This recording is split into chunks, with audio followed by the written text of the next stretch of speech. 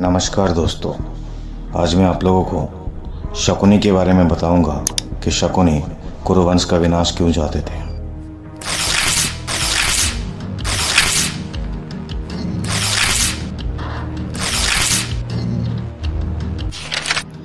महाभारत में शकुनी एक ऐसे पात्र हैं, जिनको महाभारत के महायुद्ध का विलेन और जिम्मेदार माना जाता है। शकुनी जानते थे कि महाभारत के युद्ध में कौरव की हार होगी। उसके बाद भी अपने बहन के खानदान का सर्वनाश करवा दिया था।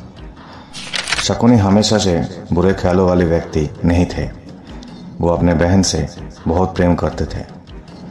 शकुनी कभी नहीं चाहते थे कि उनकी बहन की शादी नेत्रहीन धृतराष्ट्र से हो, लेकिन भीष्म के दबाव की वजह से शकुनी को धृतराष्ट्र से अपने बहन का विवाह करवाना पड़ा था। तब उसने कुरुवंश से बदला लेने के लिए कुरुवंश के जड़ को खोदना शुरू किया, जिसके वजह से दुर्योधन ने कुरुवंश को कुरुक्षेत्र के महारण में उतार दिया। शकुनी गांधार साम्राज्य के राजा थे, लेकिन उसके बाद भी अपना अधिकतर जीवन बहन गांधारी के ससुराल में व्यतीत किया था। गांधारी की शादी जब धृतराष्ट्र से हुई, तब शकुनी और उनकी एक सखी हस्तिनापुर गए थे। साथ ही राजनीतिक उद्देश्यों की वजह से शकुनी को हस्तिनापुर रखा गया। अपनी बहन और परिवार का बदला लेने के लिए शकुनी को गांधार राज्य त्यागना पड़ा और अपने बहन और भांजों के साथ हस्तिनापुर रहने लगे। यही रहकर अपने षडयंत्र को पूरा करने के लिए शकुनी, कौरव और पांडव पुत्रों के बीच गहरी खाई बना, बनाते गए। गांधारी धृतराष्ट्र से शादी करने से पहले एक बकरे की विधवा थी। किसी प्रकोप से मुक्ति के लिए ज्योतिषियों ने गांधार, गांधारी का विवाह एक बकरे से करवाया था और फिर उस बकरे की बलि दे दी थी। और ये इसके बाद धृतराष्ट्र से विवाह हुआ। ये जानकारी जब धृतराष्ट्र को मिली तो उन्होंने गांधार राज्य पर हमला कर दिया और गांधारी के पिता राजा सुबल और माता सुधर्मा शकुनी समेत सौ पुत्रों को जेल में बंद कर दिया।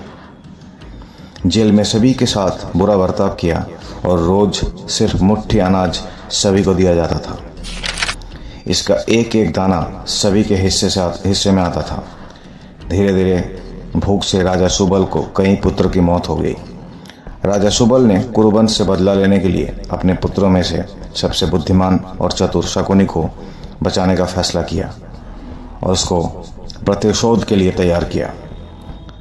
सभी लोग अपना अपना भोजन शकुनी को देने लगे और शकुनी ने अपने आँखों के सामने अपने परिवार के अंत होते देखा। मृत्यु से पहले राजा सुबल ने धृतराष्ट्र से शकुनी को छोड़ने की विनती की, जिसको धृतराष्ट्र ने मान लिया। राजमहल की चकाचौंध में शकुनी अपना प्रतिशोध ना भूल पाए, भूल जाए, इसलिए सभी ने मिलकर उसका एक पैर तोड़ दिया, जिसकी वजह से अपने परिवार के अपमान की बात वो याद रखे। तब से शकुनी लंगड़ा कर चलने लगा। इस तरह की कथा शकुनी के संदर्भ में प्रचलित है। शकुनी के पास उनके पिता राजा सुबल के हड्डी से बने बने थे। इस पासा को शकुनी चौसर खेलते टाइम महारत हासिल किया था और कौरव में भी इसका मुँह जगा दिया था। इसको इसको देखते हुए मरने से पहले राजा सुबल ने शकुनी को अपने हड्डी से पासा बनवाने के लिए कहा था। राजा सुबल ने कहा था कि ये पासा हमेशा तुम्हारे आज्ञा मानेंगे और कोई तुमको हरा नहीं सकता। साथ ही इन्हीं इन्हीं पासों से धृतराष्ट्र के वंश का अंत हो गया। राजा सुबल के मरने के बाद उनकी कुछ हड्डियाँ शकुनी ने बचा कर रख ली थी और फिर उनसे ये पासे बनवाए थे।